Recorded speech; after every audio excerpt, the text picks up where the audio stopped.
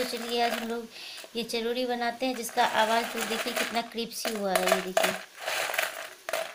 बिल्कुल पूरा एकदम क्रिस्पी हुआ है तो मैं आपको एक तोड़ के दिखा रही हूँ, ये देखिए। तो चलिए इसका रेसिपी स्टार्ट करते हैं आज हम लोग।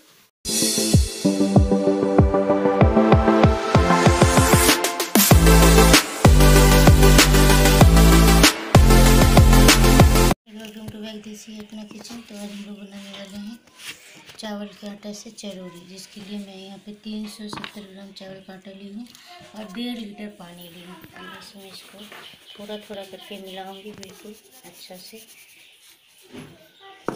इस तरह से नहीं तो ये बन जाएगा। नीचे में मिलाना है।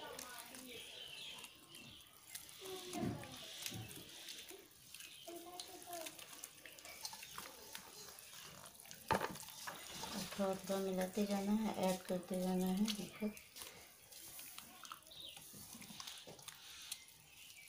इस तरह से ताकि गुठली नहीं बने। पानी थोड़ा ज़्यादा डालना है।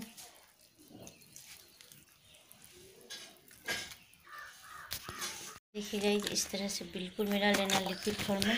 अगर पानी का और ज़रूरत है तो आप और डाल दीजिए।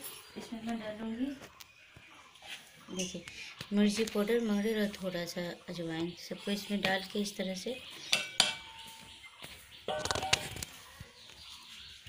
मिला लेना है। बिल्कुल अच्छा से, और नमक भी डालना है तो मैं भी नमक डाल के दिखाती हूँ आपको। देखिए फ्रेंड मैं दो चम्मच नमक डाल रही हूँ। आप स्वाद अनुसार नमक डालें और मेरा लिक्विड देखिए कितना पतला है। तो ये देखिए मैं लिक्विड कितना पतला बनाई हूँ मैं और इसको उबालना है, इस तरह से थोड़ा पकाना है इसको। एटलीस्ट दस से दस से पंद्रह मिनट तक इसको इस तरह से पकाना है तो अच्छा से। ये देखिए, इस तरह से इसको चलाते रहना है ताकि लगना नहीं चाहिए। देखिए मेरा हो चुका है मैं इसमें कलर ऐड करूँगी। ये देखिए, हो चुका है ना, बिल्कुल।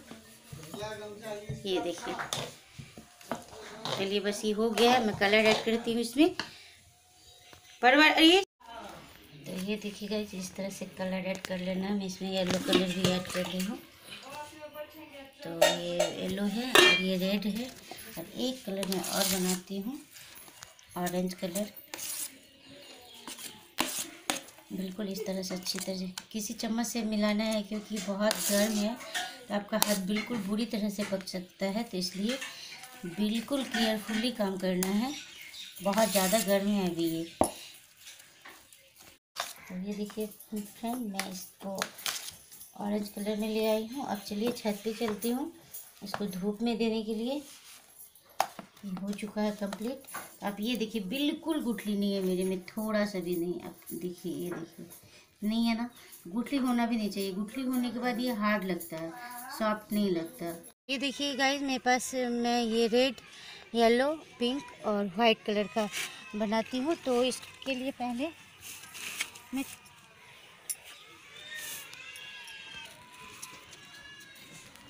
तो मैं पानी से थोड़ा हाथ गीला कर ली हूँ और ये इस तरह से, ये देखिए गोल गोल बनाते जाना है। इस तरह से। इसी तरह से सबको बनाना है। ये देखिए। और थोड़ा सा हाथ में पानी लगा लेना है। और मैं इस पर बिल्कुल तेल का ग्रीस नहीं लगाई हूँ। ऐसे ही बन के फुल फुल के बिल्कुल सॉफ्ट बनता है ये।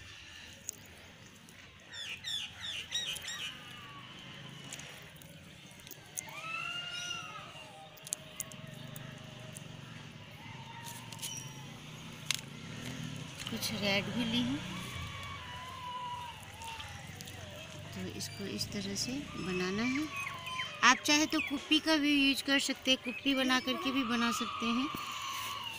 और ये देखिए, येलो कलर का भी, हर कलर का। आप चाहे आपके पास जितना भी कलर अवेलेबल हो, कलर डाल के आप बनाइए। ये टेस्टी के साथ हेल्दी इसलिए है क्योंकि इसमें कुछ ज़्यादा मिक्स नहीं है।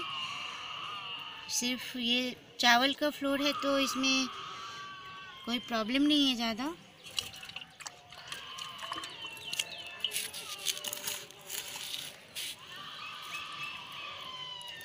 बिल्कुल इस तरह से देखिए, कितना पेटी लग रहा है देखने में।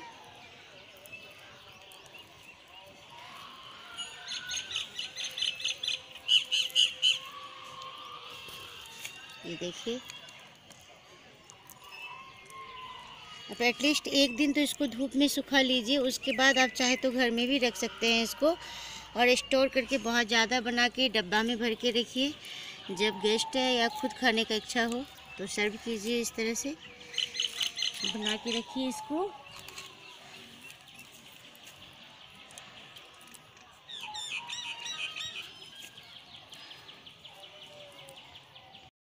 ये देखिए फ्रेंड, हमारा ये बनकर तैयार है।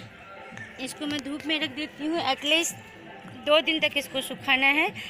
तो इसको अभी मैं धूप में डाल देती हूँ। तो गाइज़ ये देखिए, हमारा ये सूख चुका है हल्का हल्का तो इस तरह से हमको निकाल देना है, इस तरह से निकाल लेना है थोड़ा सा।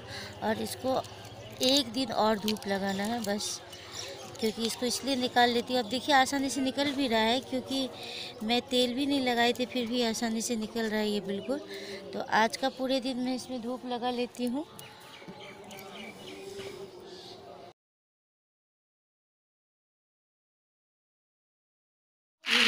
ये सूख चुका है। आवाज़ सुना रही हूँ मैं आपको, ये देखिए। बिल्कुल अच्छी तरह से सूख चुका है। अब मेरा ऑयल गर्म हो चुका है कढ़ाई में। इसको छान लेती हूँ।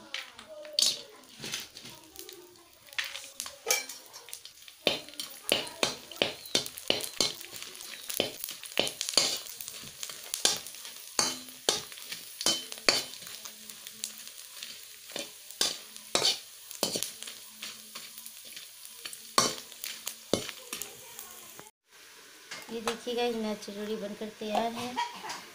तो मैं आपको दिखा रही हूँ कितना सॉफ्ट हुआ है ये देखिए। बिल्कुल सॉफ्ट हुआ है, आवाज़ सुनिए इसका। Thank you for watching this video